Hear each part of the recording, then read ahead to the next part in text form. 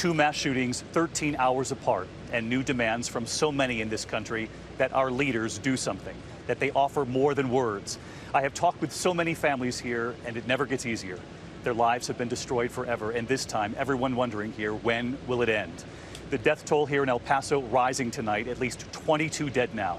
And in Dayton, Ohio, nine more people losing their lives. Tonight, what we have just learned about the gunman who walked into this Walmart with that assault style rifle, what he did right beforehand, this surveillance obtained by KTSM, the families diving for cover from the relentless gunfire, thousands running in fear. In so many cases, I heard about the children who ran out on their own. Tonight, President Trump addressing the nation what he said about racism, about white supremacy, placing much of the blame on mental health, video games, and the internet. But we begin tonight with what happened here, what we did not know until today. Go, go, go! Come on! Tonight, a startling revelation. What they believe the suspect, 21 year old Patrick Crusius, did before this moment, before he entered the Walmart with his weapon. This surveillance obtained by KTSM. Tonight, law enforcement officials telling ABC News that before the chaos broke out, run, Mija, run, that they believe the suspect had been looking for a good place to target and shoot Mexicans. Law enforcement officials telling us Crusius entered the Walmart on Saturday morning, first with no weapon, apparently to case it. Then they say, satisfied with what he saw, up to 3,000 shoppers inside, he left the store, armed himself, and then returned. Tonight, we are hearing from the survivors who crawled across that floor when he came armed with that assault style rifle. Sylvia Sacedo on the floor with her 91 year old mother. She pulled out her phone and began recording, in disbelief over what she could hear, what she could see. They were in the cafe having coffee. Now they were on the floor, and she says he came toward them, turning around when he heard customers running past him to get out. He began firing at those customers instead. This is her video as she lie on the floor with her terrified mother. The shots kept coming. You can see someone run by to escape, while a worker crouches behind the counter, motioning, signaling to others. Then the rapid fire again.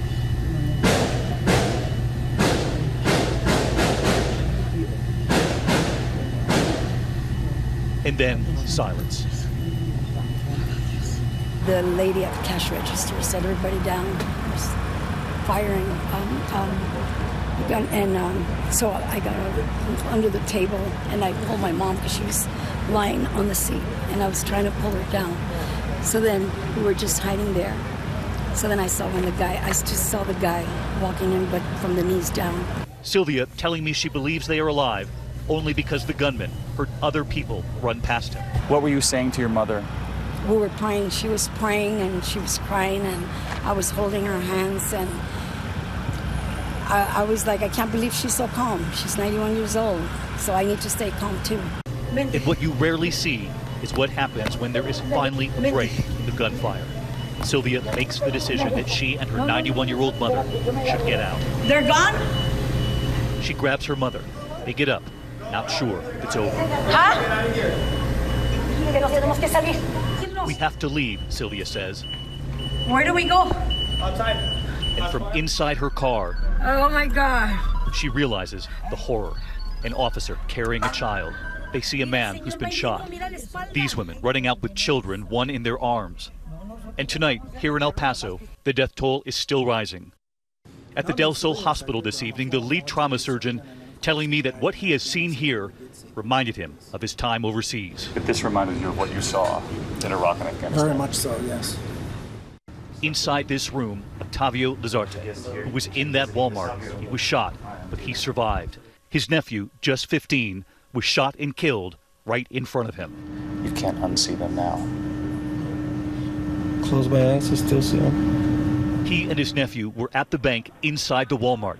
He tells me they knocked on the door to try to get behind the clerk counter, but the door would not open. They turned, and there was the gunman. What, what did he look like? What did he sound like? Well, I took a quick um, glance at him. He had glasses. That's all I remember. He had glasses. Those tactical glasses. And he didn't say a word? No, he didn't talk at all. But you could see in his face his intentions we look at the photo of his nephew, Javier Rodriguez.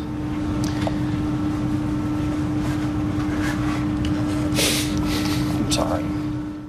He tells me he wishes he had one last chance to say something. What would you have said to him? Nothing. Like I, I can't be without him. He was like my son. He is heartbroken over his nephew. And there was one more family we have been following here. The story of this young mother, 25 year old Jordan Anchondo, and her husband, Andre. We knew the young mother died while holding on to her two month old baby. They believe she was trying to protect the baby, and she did. And now we have learned that the father, Andre, was found in that Walmart too, right near his young wife and his baby. Jordan, you knew that she had tried to save her baby, Yes, we did. and you think that she actually paid with her own life to save her child. Both parents. From what we understand, both parents, it sounds like. Their baby covered in blood, but alive. The baby had blood bruises on his head, broken fingers, and he was full of blood. And everybody was scared and panicked that it was his the baby's blood, but it happened to be his parents' blood on the baby. So, thank, thankfully, he's okay.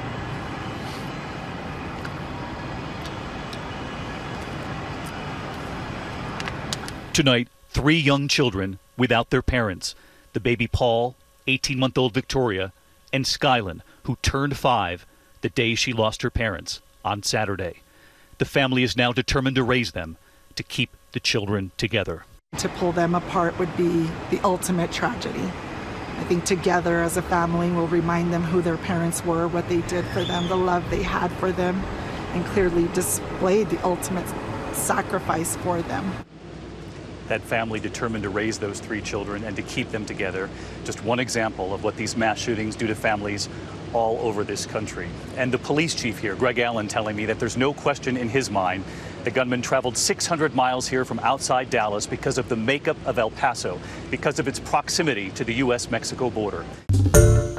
Hi, everyone. George Stephanopoulos here. Thanks for checking out the ABC News YouTube channel. If you'd like to get more videos, show highlights, and watch live event coverage, click on the right over here to subscribe to our channel. And don't forget to download the ABC News app for breaking news alerts. Thanks for watching.